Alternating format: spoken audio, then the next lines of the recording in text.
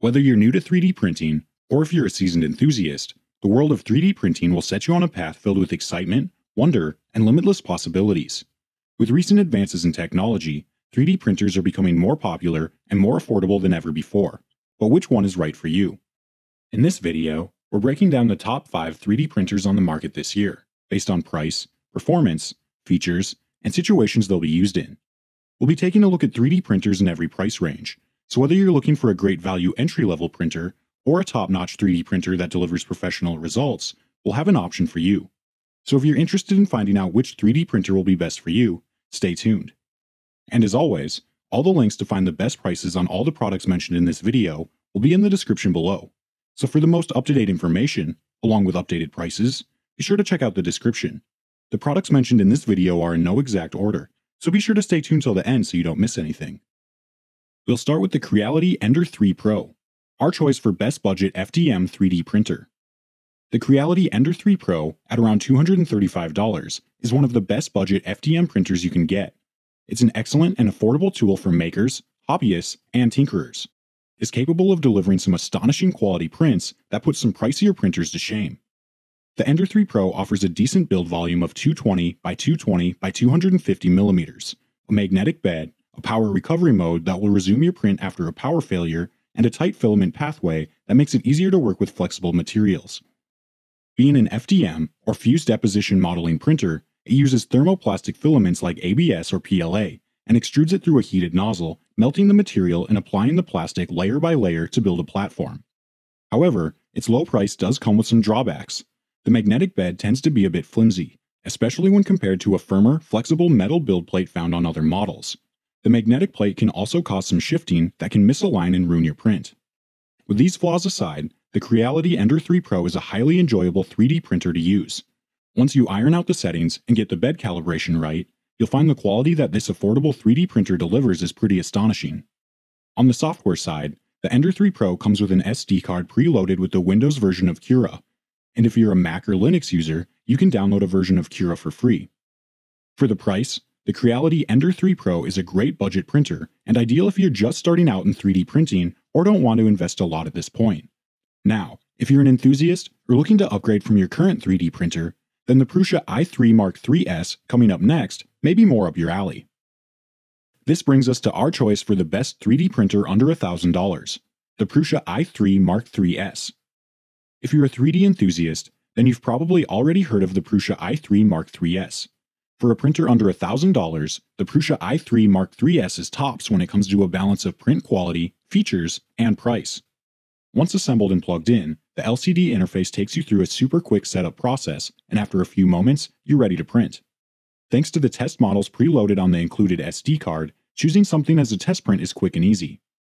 Prusa's slicing software, Prusa Slicer, is easy to get started with. It's offered for download on the Prusa Research website, and once you grab it and install it, you'll be up and running in a matter of minutes. Although the interface may not be as polished as what you'd find on Ultimaker's latest version of Cura, which you can also use, it's definitely still very clean and streamlined and well organized. Whether you're new to 3D printing or have some level of experience, you'll quickly find your way through this slicer. Using Prusa's proprietary filament, Prusa Slicer settings make the printing process easy. Pause and resume works perfectly and allows you to switch colors with unload auto load functions on the LCD interface. You may encounter issues with warping, blobs or scars, and non adhesion, but these things can happen to anyone and can be resolved by investing a little more time to tweak the settings and by exercising some patience. Other than that, the automatic bed leveling function works great. The extruder is powerful and the nozzle resists jamming. This printer is capable of delivering consistent quality prints and can provide professional grade results. The Mark III's is a great option for the enthusiast, and this kit is perfect if you want to build the machine yourself. Now, if you're looking for a budget resin printer, Stay tuned as we take a look at the Anycubic Photon S and find out how to create highly detailed prints with light. Let's take a look at our choice for the best budget resin 3D printer, the Anycubic Photon S.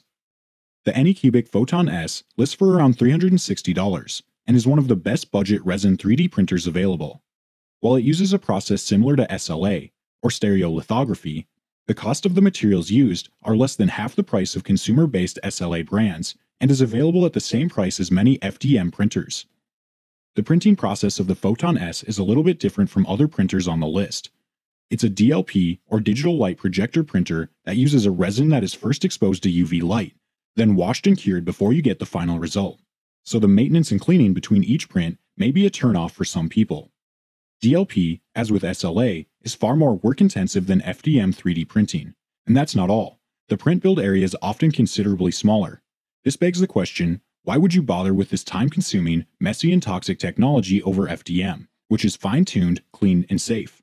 The reason is the result. The model quality is as close as you can get to injection molding without the huge cost and scale. You can use either direct USB or a USB stick for file transfers. The resin bath and build platform are protected by a full height hinge door. It has a few moving parts, and you'll love how its small footprint takes up little room in your workshop. A small LCD touchscreen is positioned on the front, enabling you to navigate settings and options easily.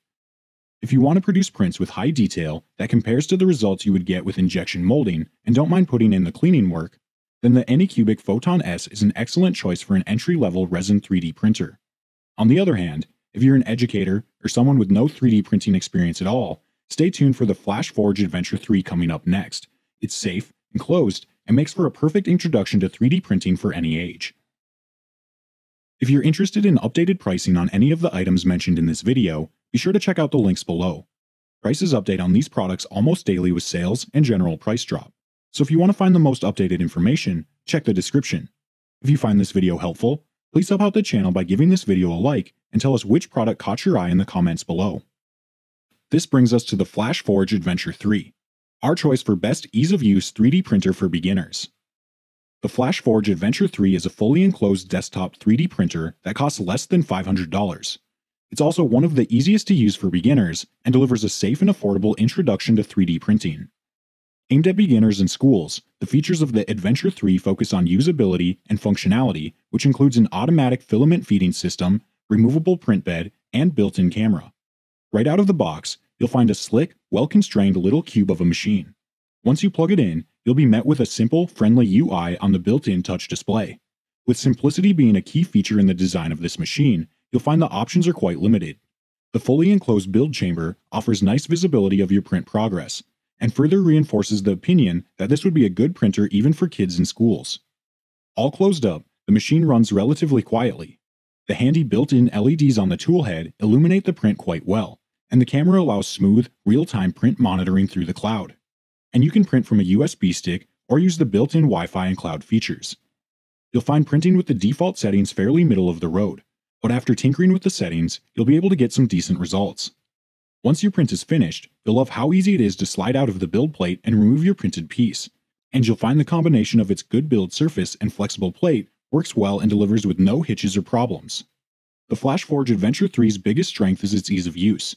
It's perfect as a learning tool for students in a school setting or for anyone that's just getting started with 3D printing. But if you're looking to take your 3D printing to the next level with more professional results, we have the Dremel Digilab 3D 45 coming up next. This brings us to the last product of the video, the Dremel Digilab 3D 45, our choice for best 3D printer under $2,000. If you're looking to invest a bit of cash into an advanced level printer to take your 3D printing to a whole new level, then at just under $2,000, the Dremel Digilab 3D45 offers the perfect balance between usability and anytime accessibility, produces top quality prints, and to top that off, it's also easy to set up and operate. The 3D45 comes fully assembled and comes with a guided setup to guide you through the process. It's like the FlashForge. It's a closed frame printer and features a clear plastic door at the front and a clear lid that swings upward to open, allowing access to the printer bed safely, especially when there's an ongoing print job, keeping you at a safe distance away from the hot extruder nozzle. The new extruder is a direct drive system with a nozzle that can reach temperatures as high as 280 degrees Celsius and the print bed is heated glass that can reach 100 degrees Celsius, which will allow you to print most materials including ABS and nylon. All the necessary software is included with the 3D45. It comes with its own bespoke version of Cura with three different levels of assistance, from completely automated through to full G-code editing, and is very easy for beginners as well as powerful enough for advanced users. The 720p HD camera situated in the top corner of the printer lets you keep tabs on the progress of your print using your computer or smartphone. And a complete time-lapse video of every print you make is emailed to you as a link on completion. The Dremel Digilab 3D45 is great for anyone looking for professional results, regardless of their level of experience. The 3D45 makes it easy for beginners to advance their knowledge of 3D printing, and those with experience won't be frustrated with a system that has limited functionality or capabilities. This 3D printer is a win-win for all. Alright guys, that's all for now. If you enjoyed this video, please go ahead and leave a like. If you're new to the channel and you like the video, consider subscribing. We do our best to keep you up to date with the best products on the market right now, so if you want to stay current regarding the best gear, make sure to hit that subscribe button. Be sure to check out the description for links to find the most up-to-date pricing on all the products mentioned in this video. Hope you all have a great day, and we'll see you back here soon for the next video.